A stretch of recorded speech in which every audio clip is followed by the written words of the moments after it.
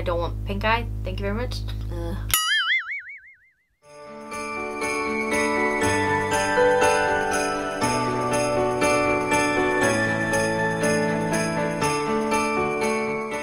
Everyone and welcome back to my channel or welcome if you are new. My name is Kyrielle and today we are going through my most used products of 2018.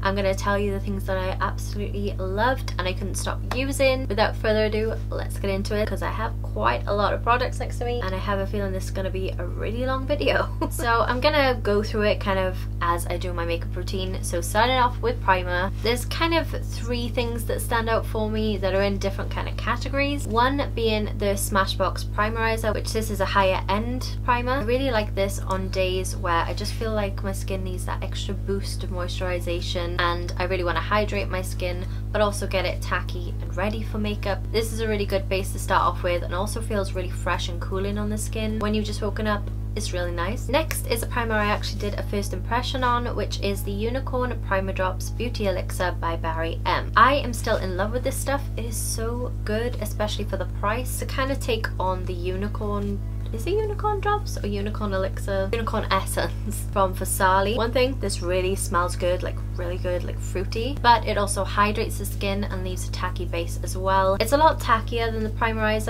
and it doesn't so much absorb into the skin. It doesn't sit on the skin. With the primerizer it really melts away into the skin but this as a product you can kind of feel it there working in a sense but it doesn't feel heavy or anything like that. I really love this. I have really been loving these drops by L'Oreal. They're the Glow Mon Amour.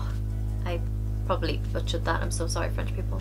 And this is in the shade 01 Sparkling Love. It's just this pretty champagne, almost beige kind of highlighter drops. But I've been loving using these underneath my foundation, so that's why I've put them in this category. The only thing that I hate about this is the packaging. It just it's just really bad. There should be more of like a stopper on the top because it kind of gets everywhere. But apart from that, the actual product is really good and it works for my skin tone. So pretty, and glowy. When you feel it, it does kind of feel a little bit greasy, but I feel like it kind of dries down and underneath my foundation I've never had any problems. It just adds a nice dew to the skin when you put it on the high points and yeah, just really been loving this, especially under matte foundations, which I'm going to roll on to. Three foundations kind of stick out to me throughout the year of 2018 and they're all affordable. So that's great. First one being one that I love throughout the end of the year and that is the Makeup Revolution Conceal and Define Full Coverage Foundation and this is just a full coverage matte foundation that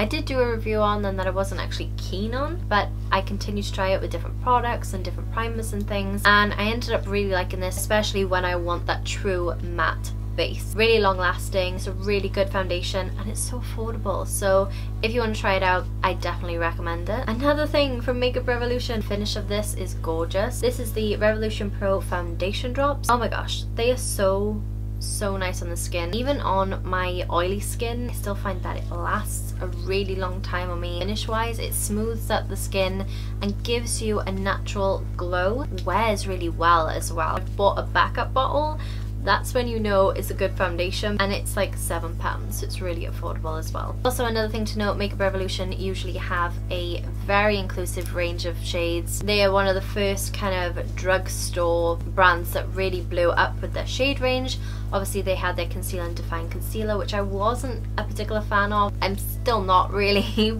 I'm just being honest but the shades you cannot fault them for that. And one thing I love about Makeup Revolution is they're always looking to improve. They're always taking in feedback.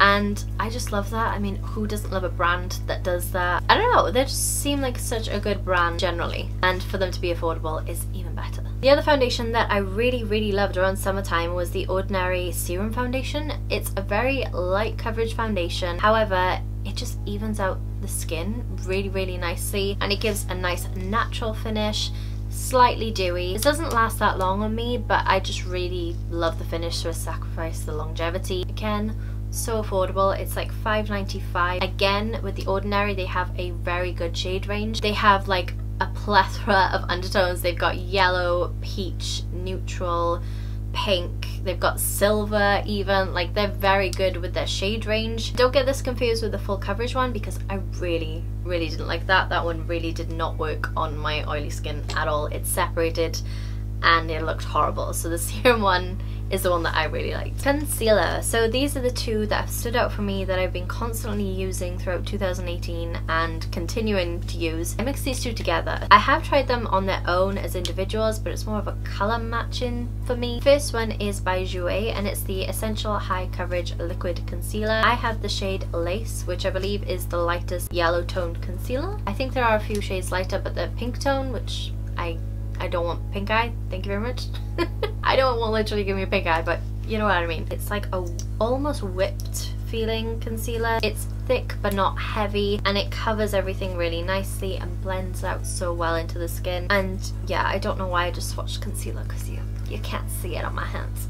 the only downfall with this is I don't feel it's light enough for me so that is why I use this other concealer with it and that is the Barry M All Night Long Concealer in the shade 1 Milk. If you are very fair then you can use this. This is so affordable, I think it's like maybe £4 and I know Mama Mama Mitchell uses it on Instagram, so you know it's good then. The only thing I'll say about this is it's a very matte concealer and the dry down is pretty quick. So if you have like dry under eyes or anything like that or dry skin, you may not like this. So when I mix these two together, I do one eye at a time just to make sure. And I've learned that the hard way, so an honourable mention would be Shape Tape, but everyone loves that. I don't want to beat a dead horse, so we're gonna move swiftly on. Something that's kind of like in the same vein as concealer is my eye base, which is the P. Louise eye base. This stuff is amazing. If you want pigmented eyeshadows that blend really easily, that stay on your eyelids, and that is affordable, look no further than this Lil Beauty by here. Completely worth the hype that everyone gives it. For bronzer, I have two favourites. One is more high-end and one is more drugstore affordable. The high one is by Jouer. It's the light to medium bronzing duo and it looks like this. It's really pretty packaging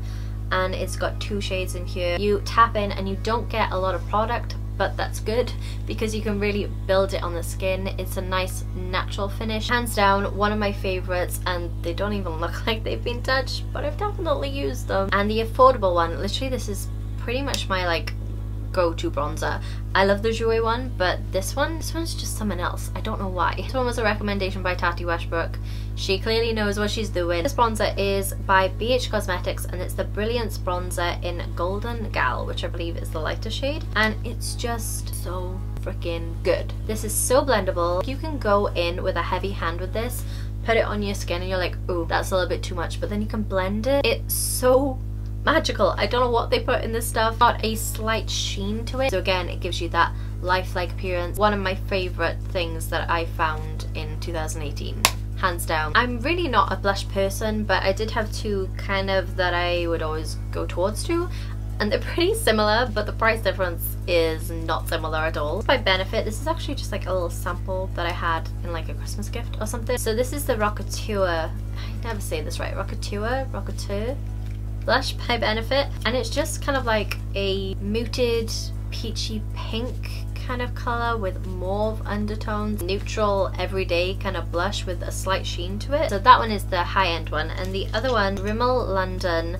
Lasting Finish Soft Colour Blush in 20 Pink Rose. Again, they look so freaking similar. Let me just... Okay, the Rockateur is like slightly darker, but they are like exactly the same tone. Like maybe Rockateur has a bit more of a corally undertone, but anyway, again, it's just a peachy, rosy, flattering everyday colour. I think this was like three pounds or something like that, ridiculous, like really cheap. But it's really good, long lasting. When I have like a look where I don't know what to wear, I'll always go to either one of those. Highlight. so you guys probably know this one already if you've watched a few of my videos recently. Doll Light by Doll Beauty. Oh my stuff is magical. So this is like a diamond by Doll Beauty and as you can see it is being well loved. It is just the perfect highlight for me. It's just so pretty. It's like champagne. Just the formula in general. It's so smooth on the skin and it's not glittery. It's just like a beam of light that blends in so well to the skin. Honestly, this has been one of my favourite finds ever in makeup. Another one that I've had for ages and is kind of beat up because the pan came out of the actual packaging, but it is Ofra highlights. I've got this one here. This is the Nikkie Tutorials Everglow highlighter, but this white by here, I kind of mix it in with the champagne colour as well. There is no beating Ofra's highlight formula over here. Sorry, my light's really aren't doing it justice. but the amount of pigment that goes into these shades is insane and then the payoff that they give is just it's just blinding.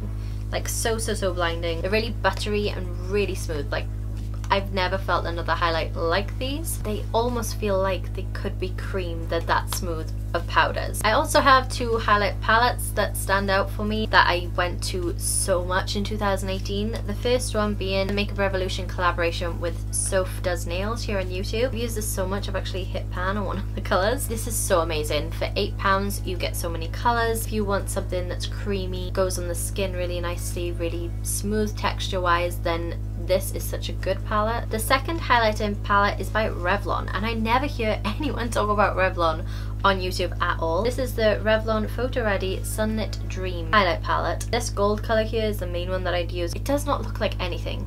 Okay, when you put it on the skin, it just melts like no other highlight I've ever tried. You really can't tell where this highlight starts and ends on the skin. Almost looks natural. It's still blinding. It's very confusing. if you look through some of my videos, you'll see this and it looks so pretty on the skin. I forgot to mention this with the bronzers but I also have my contour palette by Too Faced. I always go for this for contour. This is the Cocoa Contour Chisel to Perfection palette by Too Faced and literally I only ever really use the medium shade here. It's just a perfect kind of cool tone colour for me personally. Let's do eyeshadow palettes. So I have again two kind of categories. So I have an affordable and a high-end. The affordable one is actually by Wet n Wild. It's the Wet n Wild Rose in the Air palette, which is supposed to be a dupe for the Anastasia Beverly Hills Modern Renaissance palette, I believe. Obviously not official, but it looks like it. These eyeshadows blew me away when I tried them on in a video. They are so blendable, so pigmented, like they just I was like, what? This whole palette was about four pounds and just honestly, the pigment on them, look at that. Obviously I've highlight everywhere, but I'm just gonna go over top. Actually, that's just one swipe. They are so buttery in feel. They are just so good. The only dud in this whole palette is kind of like the shimmer. It doesn't really show up that much. It's just a bit meh. But apart from that, all of the mattes in here are incredible. Whenever I was traveling and I had to take a small amount of makeup, I would just throw this in because it's very small, it's very compact, it's got a lot of transitions colours in there but a little pop of colour if I really want to add some. This is just such a good, good palette, not even for the price, just in general as a product so freaking good. It's on Beauty Bay. Next palette I mentioned in a favourites. This is still one of my favourites, but it's a controversial product. Well, the product isn't controversial, but the person behind it is, and it is the Laura Lee Nudie Patootie palette. I just, I can't lie, I really love the colours in here. They're really user-friendly, they're really easy to blend. I can create a neutral, I can do a pop colour. The metallics in here are so so good. And they just shine on the lid, so pretty. And the cohesion of the palette is really good. I really like it. It was a favourite of 2018 and I am gonna still continue to use. Haven't watched her since everything came out. I don't need that negativity in my life.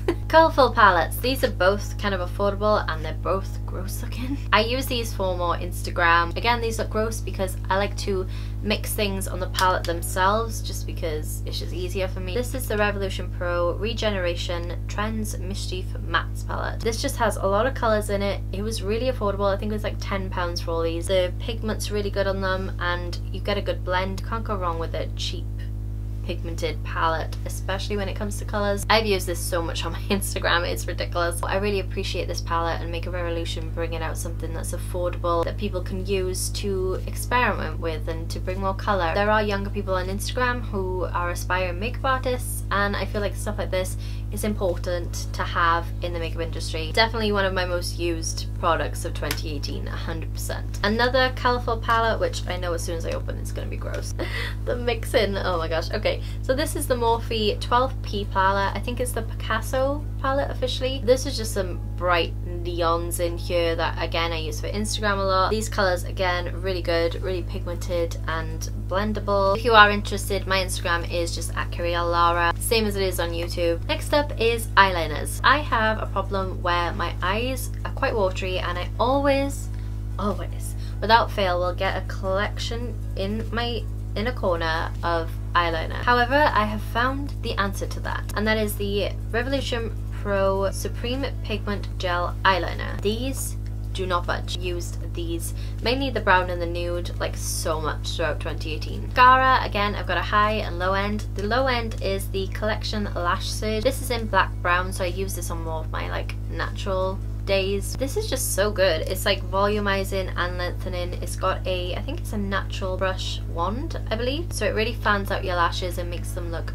really wispy and natural. The high-end one I've actually got a mini of and I do actually have another mini on the go.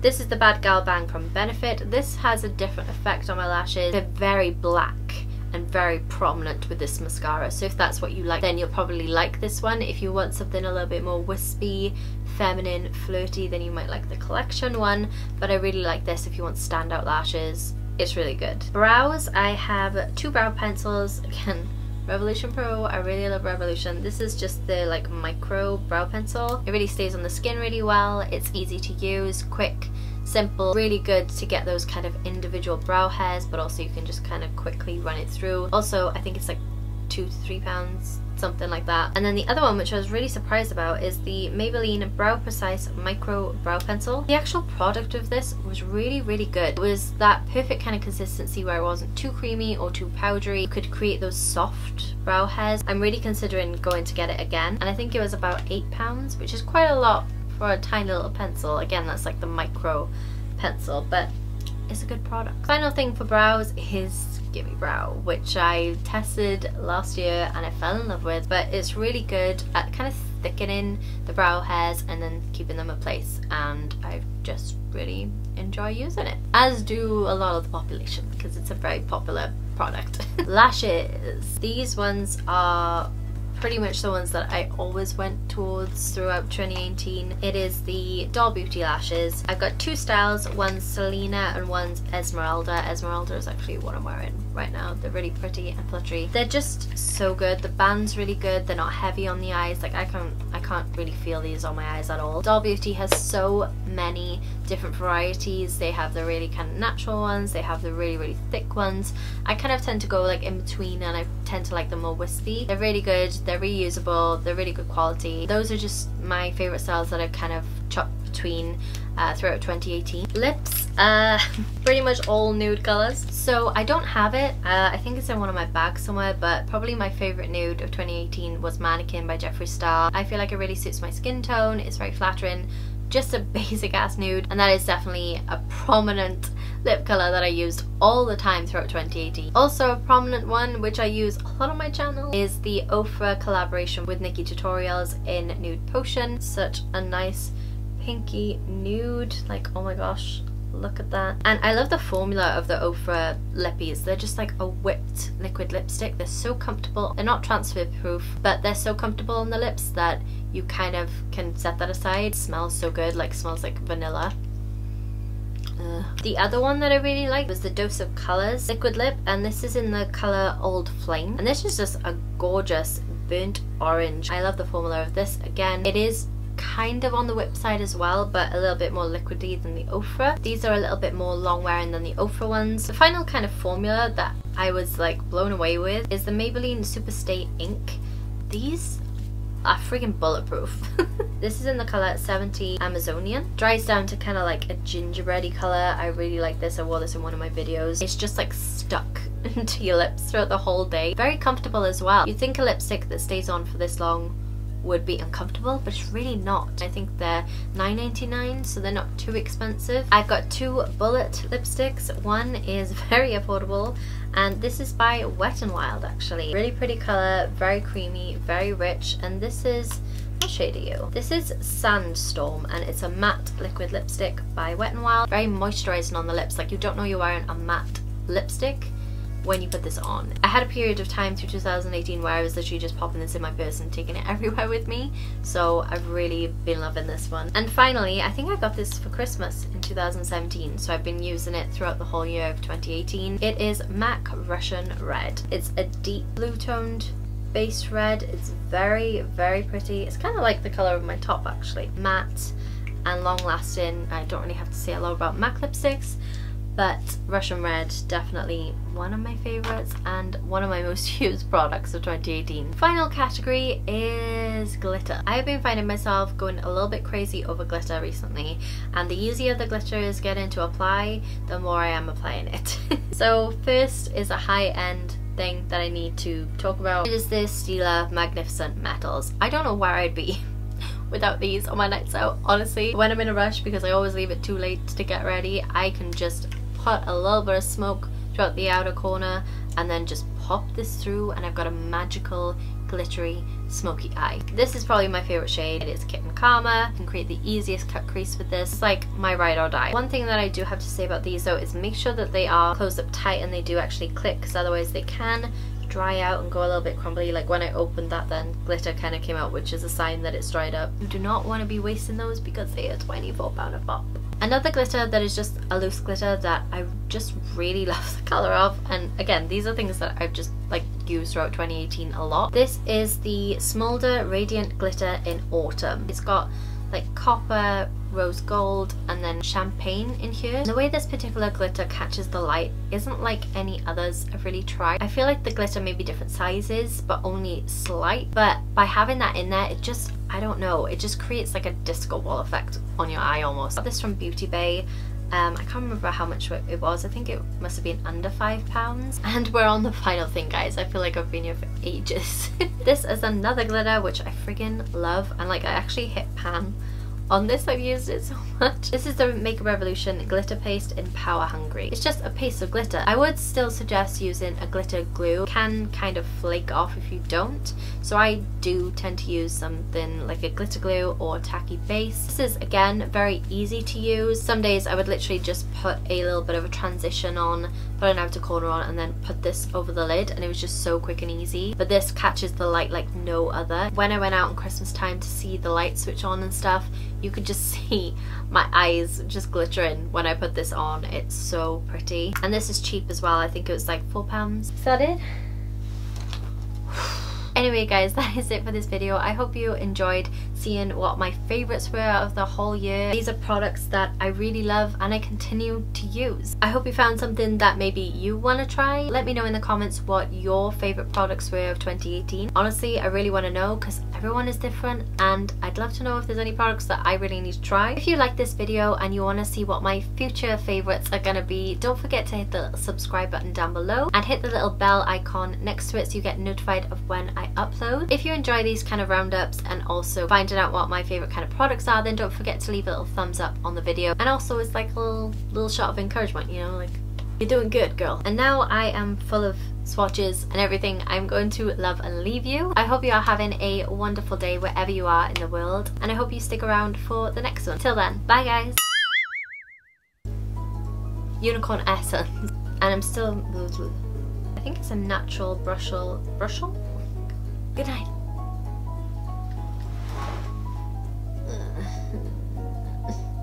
I'm so tired.